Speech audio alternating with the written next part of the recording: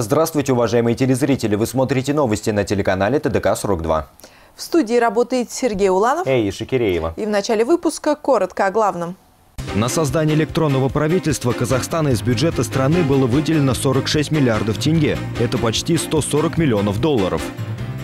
Сегодня Аким области дал первую пресс-конференцию в новой должности. За красоту надо платить. В этом году на высадку цветов выделено 82 миллиона тенге.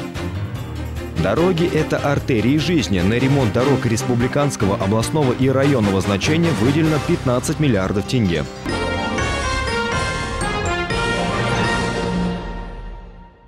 На создание электронного правительства Казахстана из бюджета было потрачено 46 миллиардов тенге. Это около 140 миллионов долларов. Об этом стало известно на брифинге в Астане. Еще одна новость. До создания электронного правительства справка о недвижимости стоила от 50 до 100 долларов. В этом признался вице-министр по инвестициям и развитию Сакен Сарсенов. Подробности в сюжете наших столичных корреспондентов. Через портал электронного государства Казахстана можно оплатить налоги, штрафы за нарушение правил дорожного движения, а также можно оплачивать услуги ЖКХ. К примеру, ранее очень много недвижимости продавалось, и справка, которую при этом выдавали, пользовалась огромным спросом. За нее платили немалые деньги посредникам, а не государству. Появился огромный теневой рынок. В народе эту подачку называли стошкой, поскольку давали за нее 100 долларов. Но теперь услуга предоставляется безальтернативно, только в электронном виде. Что касается денег, потраченных на электронное правительство, мы, в принципе, просчитывали. Если смотреть, начиная с 2006 года, то на данную систему поряд, потрачено порядка, ну, если считать чисто электронное правительство, 46 миллиардов тенге. Я могу вам один пример привести. А, справку а, по недвижимости, да, она в свое время неофициально, для того, чтобы ее ускорить, она стоила от 50 до 100 долларов, это вы все прекрасно знаете. Сейчас вы в электронном виде, либо в ЦОНе можете эту справку получить буквально за несколько минут. Вот, в принципе, эффект борьбы с коррупцией. Но возникает один вопрос, насколько уязвимы персональные данные пользователей. Оказывается, зная фамилию, имя и отчество человека, можно узнать всю его подноготную – на портале электронного правительства, зайдя под своей учетной записью, используя чужой ИИН, можно узнать его налоговые штрафы и другие нарушения и, вероятно, другую личную информацию. Почему же мы должны предоставлять эту информацию различного рода преступным элементам, ракетирам всех мастей? Размещение подобной информации – прямой путь для отъема собственности, говорят критики. Мы работаем над информационной безопасностью каждый день. Создано специальное государственное предприятие. Работаем с КНБ. Конечно, вопросы информационной безопасности возникают каждый день, но мы с этим боремся и считаем это важным вопросом. Но есть и плюсы. Благодаря оптимизации всех процессов за счет экономии бумаги и времени госслужащих сэкономлены миллиарды. В частности, электронные бизнес-процессы сберегли более полутора тысяч тонн бумаги, а с ней спасли немалое количество деревьев от вырубки. Но пока, несмотря на созданный портал Е-государства, в Казахстане существует проблема с доступом к интернету, особенно в селах. Баужан Шайхмед, Ганизат Успанов, телеканал ТДК-42 из Астаны. Сегодня Аким области Алтай Кульгинов дал свою первую пресс-конференцию в новой должности. Тема «Реализация плана нации. 100 конкретных шагов». Больше всего глава региона уделил вниманию привлечению инвестиций и реализации новых проектов. Наши корреспонденты расскажут подробнее. Первая пресс-конференция вызвала большой интерес представителей СМИ, но на все про все отвели чуть больше часа. Аким области Алтай Кульгинов отметил, что индустриализация и экономический рост – одни из главных направлений плана нации. Сейчас в области реализуется 41 проект в рамках карты индустриализации на сумму 330 миллиардов тенге. Один из успешных примеров – Уральский трансформаторный завод, который уже произвел продукции на 500 миллионов тенге. Уральский трансформаторный завод заключил соглашение с турецкими инвесторами. Создается э, совместное предприятие «Урал-Электро», и здесь будет создано дополнительно 100 рабочих мест. Проект составляет полтора миллиарда тенге. А, будут производить э, приборы электротехнического оборудования, также ориентированные на экспорт.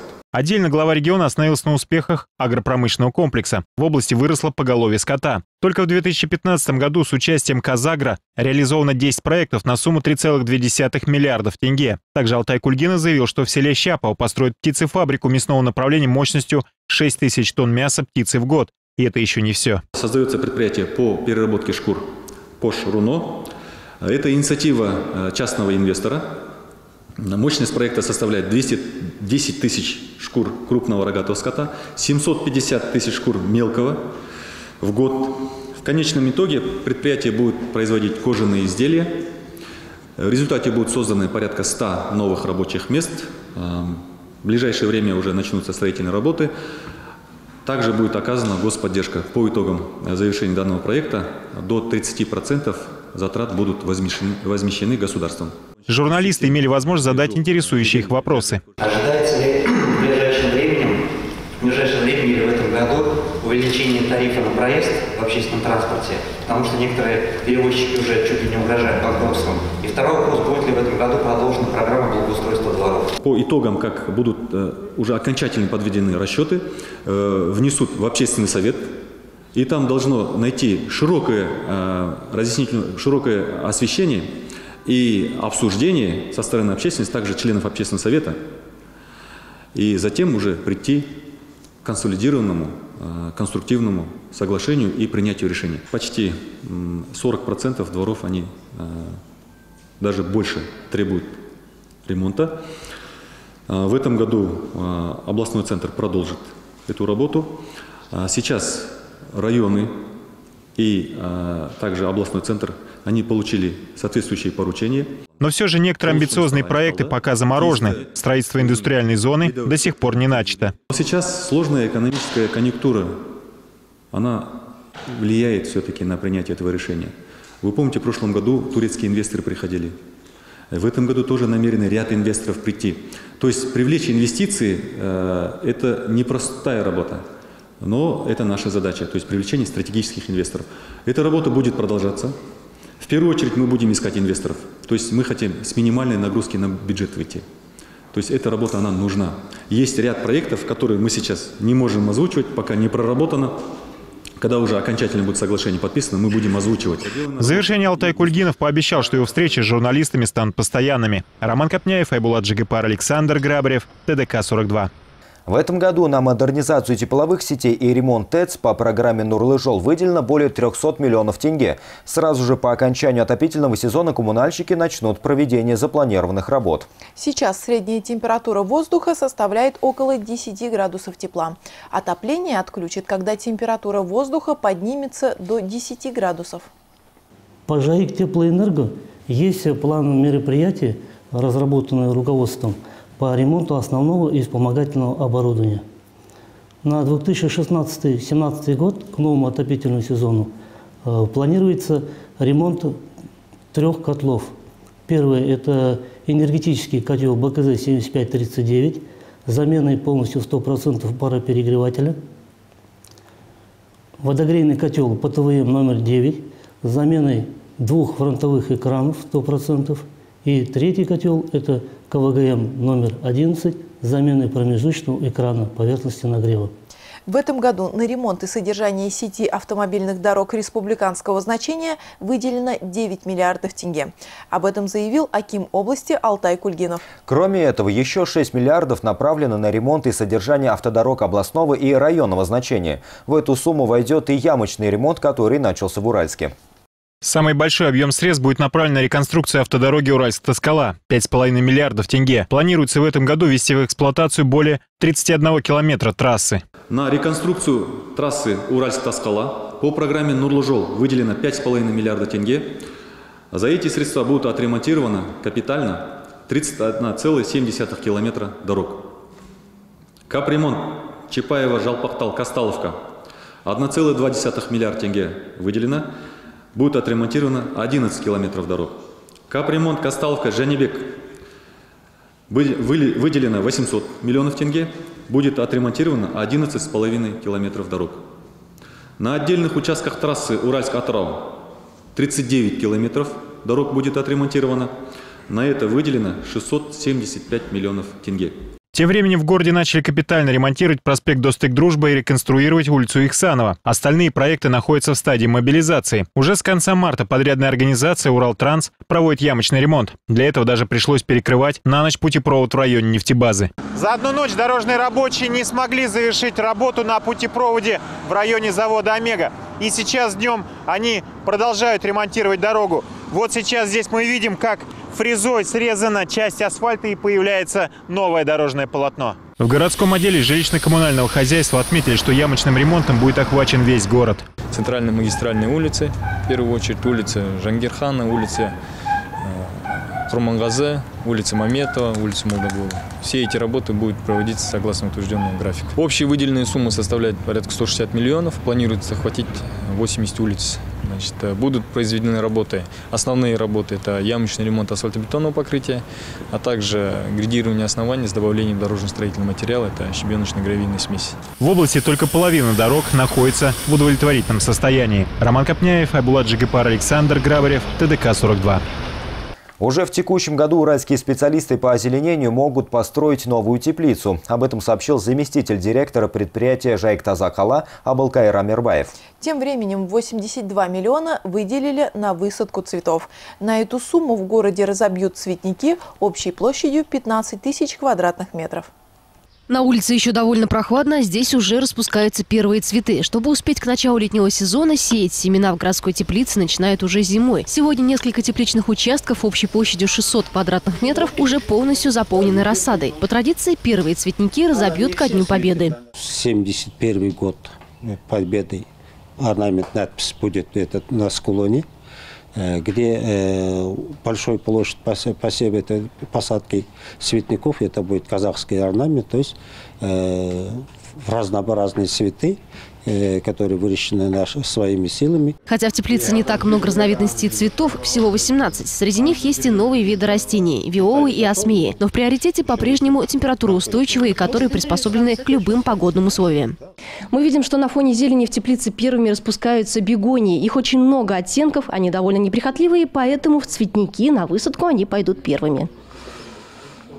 С набором сотрудников здесь проблем нет. Нехватку рабочей силы возмещают те, кто приходит с зимней смены по уборке города. Пока помещение для выращивания растений приходится арендовать, но уже в скором времени коммунальное предприятие сможет построить и оборудовать свою теплицу. Уже сделаны расчетные показатели на ее проектирование общей площадью порядка 7 гектаров. Осталось дождаться выделения средств из бюджета. Если все нормально будет, э, в этой сессии должен рассматриваться вопрос выделения денег на проектно-сметной документации.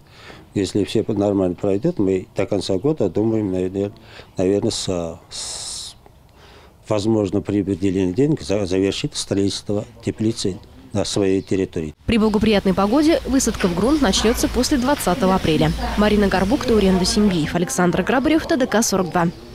Повышение уровня антикоррупционной культуры поможет снизить уровень самой коррупции, уверены специалисты. В рамках антикоррупционной стратегии, утвержденной главой государства на 2015-2025 годы, сотрудники Департамента по делам государственной службы и противодействию коррупции провели конференцию с представителями Западно-Казахстанского аграрно-технического университета. Высшее учебное заведение выбрано специалистами не случайно. Именно в объектах образования зачастую выявляются факты взяточничества, когда за успешную сдачу экзамена преподаватели требуют от студентов энную сумму денег. Здесь э, мы хотели связать такое понятие, как э, теоретическое обоснование, например, э, в этой сфере, и что мы на практике проводим. То есть сейчас государством делается очень много. Нормативные правовые акты э, совершенствуются, и э, они соответствуют международным нормам. Однако и теоретические разработки в этом направлении должны быть. Мы должны учить студентов на каких-то наших этих э, трудах э, теоретических, которые должны э, вестись на занятиях за первый квартал текущего года в местные исполнительные органы поступило 33 заявления на легализацию недвижимого имущества на сумму 118 миллионов тенге. В Департаменте государственных доходов рассказали, что чаще всего граждане легализуют дома и квартиры, однако в некоторых случаях и деньги. За три месяца 2016 года 11 физических лиц легализовали свои средства на общую сумму 565 миллионов тенге. Специалисты налогового управления напоминают, что всю процедуру легализации необходимо пройти до конца текущего года. Иначе можно понести серьезное наказание, связанное с уголовной ответственностью. Как отметил наш президент, э, это шанс э, вывести все свое имущество путем легализации законным путем. Но в последующем уже никакой поблажки не будет, как говорится. Уже будет там уже как ответственность будет, будет перепроверяться, будет счеты будет проверяться за пределами, например, Республики Казахстан. Уже для них уже есть уголовная ответственность, которая будет предусмотрена Уголовным кодексом Республики Казахстан. Для тех, кто попытается скрыть, да? Да, для тех, кто попытался скрыть, кто не сдал, кто не успел. Аким области Алтай Кульгинов встретился с представителями Европейского банка реконструкции и развития. Речь шла об инвестировании финансового института в проекты сферы жилищно-коммунального хозяйства. Пока это только планы, но в числе имеющихся достижений банк уже профинансировал более 150 бизнесменов из нашего региона. Основной целью встречи стало обсуждение сотрудничества Акимата Западно-Казахстанской области с Европейским банком реконструкции и развития по вопросам совместного финансирования проектов инфраструктурного развития. Было реализовано э, с участием э, Европейского банка реконструкции э, проектов на сумму около 15 миллиардов долларов США. В том числе на, на, на текущий момент реализуется около 80 проектов с участием ЕБРР в Республике Казахстан на сумму около 2,5 миллиардов тенге. И в этой связи э, сейчас э, начинается активная фаза сотрудничества с Европейским банком развития и реконструкции и Акиматом Западно-Казахстанской области. На встрече обсудили вопрос сотрудничества в реализации инфраструктурных проектов, в частности в сфере ЖКХ, возможности Европейского банка реконструкции и развития по усилению предприятий в сфере ЖКХ путем предоставления технической грантовой помощи с целью усиления корпоративного управления, энергоэффективности и в других секторах. Uh, um, e в рамках соглашения по усилению партнерства правительства Республики Казахстан выделила гранты на сумму 40 миллионов евро, которые мы используем для усиления проектов малого и среднего бизнеса. В частности, в Западно-Казахстанской области мы уже предоставили гранты 153 компаниям. Роман Копняев, Рустам Джумашев, Айбулат Жигипар, ТДК-42. Далее в выпуске мы представим вашему вниманию не менее интересные события в специальном видеообзоре. Президент Казахстана Нурсултан Назарбаев встретился с духовным лидером Исламской республики Иран Али Хамини. В ходе встречи были обсуждены пути дальнейшего укрепления сотрудничества двух стран. Глава государства подчеркнул, что народы Казахстана и Ирана издревле связывают исторически сложившиеся социально-экономические и духовные связи. Стороны также обменялись мнениями по наиболее острым вопросам международной повестки дня, отметив при этом важность борьбы с проявлениями терроризма и экстремизма. Нурсултан Назарбаев и Хамини выразили удовлетворение ускорение темпами развития казахстанско-иранских отношений в области торговли и инвестиций, созданием новых совместных проектов, отметив, что все это служит прочным фундаментом для укрепления дружбы народов двух стран. В Казахстане заморозили цены на популярные лекарства как минимум до конца этого года. Соответствующий меморандум Министерство здравоохранения подписало с крупнейшими фармацевтическими компаниями. В список вошли 105 наиболее часто используемых лекарственных средств и медицинских изделий. Среди них обезболивающие сердечные, желудочные и противовоспалительные препараты, а также витамины, глазные и ушные капли. 90% этого списка составляют препараты отечественного производства, но есть и препараты, которые представляют представлены зарубежными импортными производителями. Это Англия, Франция, Германия. Цена на 105 препаратов, которые определили в меморандуме, будет сдерживаться по нынешнему курсу. За несанкционированное повышение цен на указанные в меморандуме препараты продавцов станут штрафовать или даже отзывать лицензии. В Западно-Казахстанской области производители яиц оштрафовали за ценовой сговор. Административный суд Уральска рассмотрел дело ТО «Уральская птицефабрика» и агрофирмы «АКАС», которых уличили в ценовом сговоре. В ходе расследования выяснилось, в течение трех месяцев с августа по ноябрь 2015 года Уральская птицефабрика и агрофирма «АКАС» одновременно поднимали цены на свою продукцию со 143 до 146 тенге за десяток яиц. Департамент по регулированию естественных монополий по Западно-Казахстанской области определил эти действия как антиконкурентные, согласованные, что является нарушением антимонопольного законодательства. На двух производителей яиц составили административные протоколы и отправили на рассмотрение в специализированный административный суд. За ценовой сговор между предпринимателями Уральская птицефабрика и агрофирма АК оштрафованы на 305 тысяч тенге и 464 тысячи тенге соответственно, то есть на 3% от дохода, полученного в результате незаконной деятельности.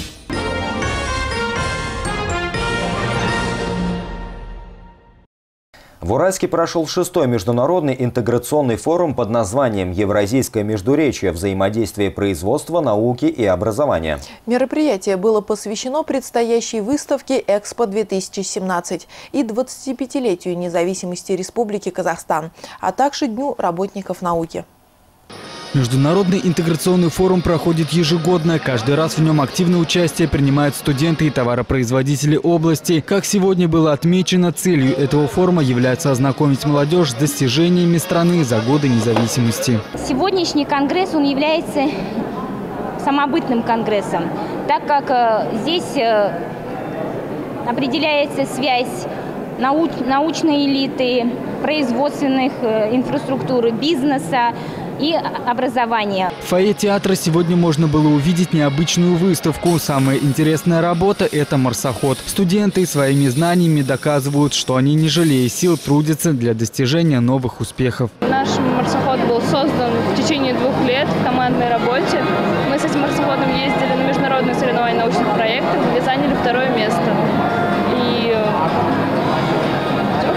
Для чего предназначен, говорит Для изучения геологической структуры Марса. Это единственный марсоход, который изучает это. Остальные марсоходы разработаны тоже для изучения Марса, но именно геологическую структуру Марса изучает только наш марсоход. В завершении форума были подписаны меморандумы о сотрудничестве с пятью предприятиями Уральска. Олег Великий, Нурлан Кунашев, Рустам Джумашев, телеканал ТДК-42.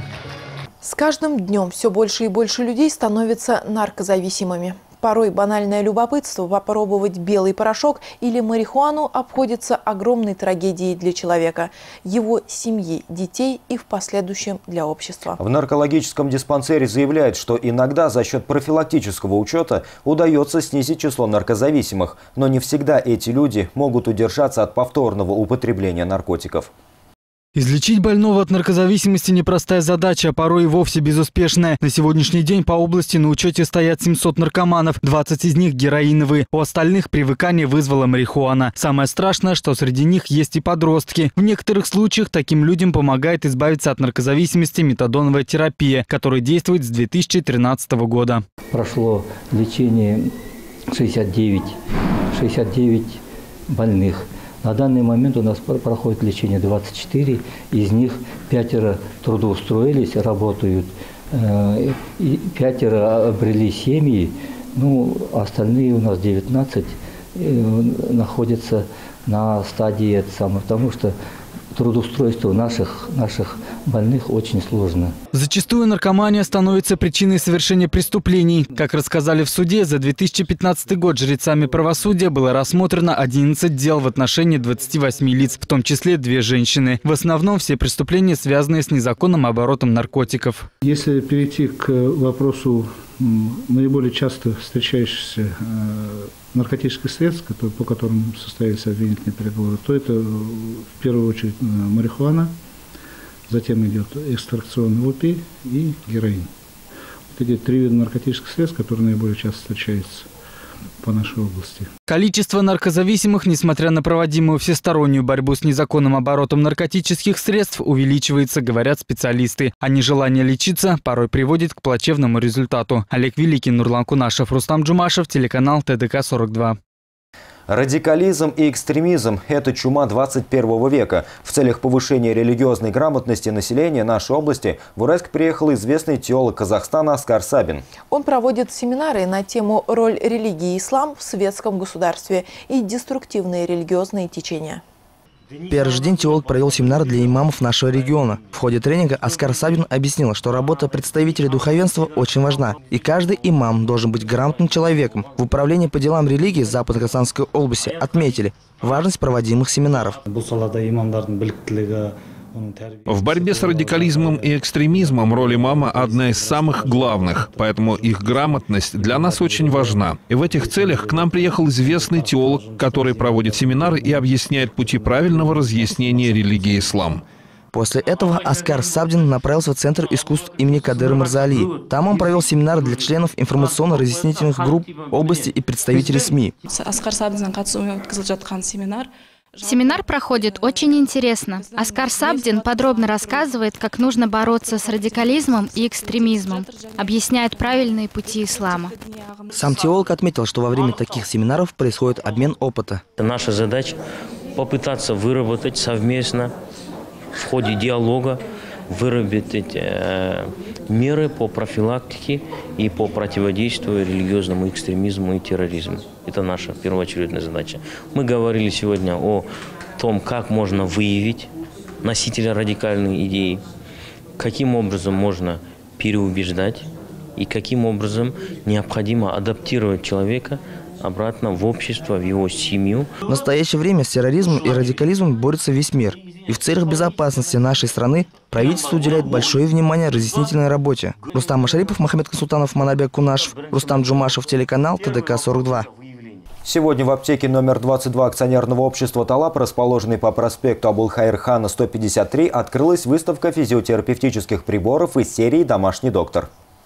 Эти приборы можно использовать дома для лечения многих болезней. Компания «Еламед» считается лидером российского медицинского портативного приборостроения. В продаже имеются аппараты «Теплон» и «Унилор». А самые известные приборы – «Алмак» и «Мавит». Они успешно зарекомендовали себя в домашних условиях и поликлиниках. Аппарат «Алмак» охватывает широкий спектр заболеваний, которыми страдают лица старше 40 лет. В них входят э, заболевания суставов, артриты, артрозы, заболевания э, спины, это остеохондрозы, грудной, шейный, поясничные отделы. Помимо этого, травмы и повреждения позвоночника спинного мозга, э, желудочно-кишечный тракт, гастрит, язва, сердечно-сосудистая, гипертония, ишемический инсульт. По венозной системе тромбоз, тромбофлебит, варикозная болезнь. Еще один аппарат МАВИД. Данный прибор является очень эффективным при лечении болезни простаты. Это дополнительно подтверждает множество положительных отзывов. Аппарат МАВИД применяется при лечении таких заболеваний, как простатит, аденома, лечение геморроя и восстановление эрекции у мужчин. Воздействие проходит сразу тремя факторами, которые входят в международные стандарты лечения этих заболеваний. Один из которых – это прогревание области простаты. Второй из которых – это магнитное поле, которое оказывает обезболивающий эффект, а также помогает устранить воспалительные заболевания в области простаты. И третий фактор – это микромассаж, который стимулирует и приводит в тонус окружающие мышечные ткани. Все приборы продаются по ценам завода-изготовителя. Выставка будет проходить с 12 по 15 апреля по адресу аптека номер 22 акционерного общества «Талап». Она расположена по проспекту Абылхайрхана, 153.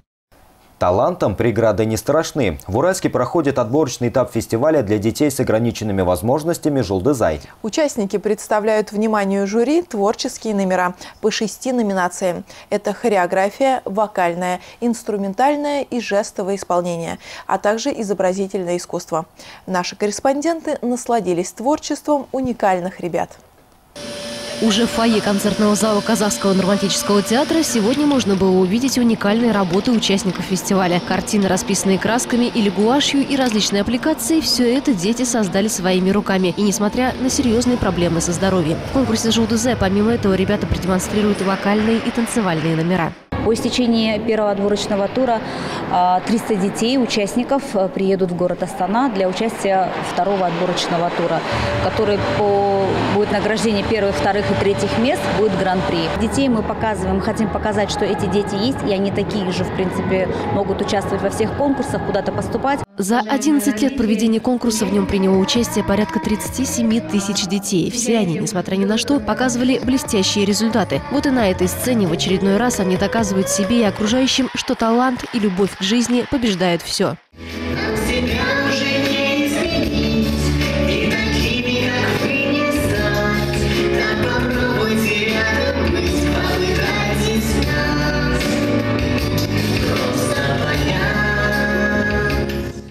Июня в Астане состоится гала-концерт, где примут участие победители областных туров. Обладателей гран-при ждет дальнейшее участие в международных конкурсах. Марина Горбук, Дорин Десимбиев, Александр Грабрев, ТДК-42.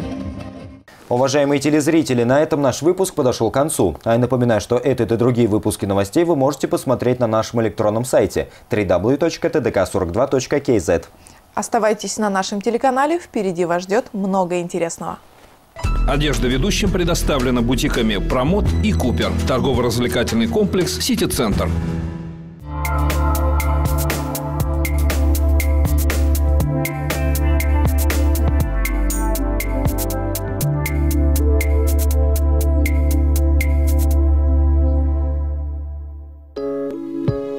Прогноз погоды на 13 апреля.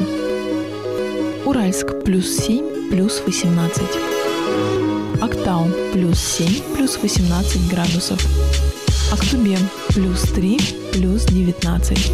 Атырау плюс 9, плюс 17. Кокшетау минус 5, плюс 7. Костанай плюс 2, плюс 13. Кызылорда плюс 9, плюс 24. Павлодар плюс 5, плюс 17 градусов. Петропавловск ночью минус 3, днем плюс 8.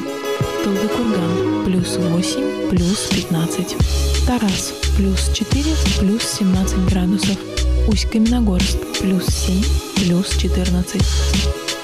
Караганда ночью плюс 5, днем плюс 10. Шимкент плюс 8, плюс 12. Плюс 9, плюс 13 днем. В столице республики Астане ночью плюс 3, днем плюс 11 градусов.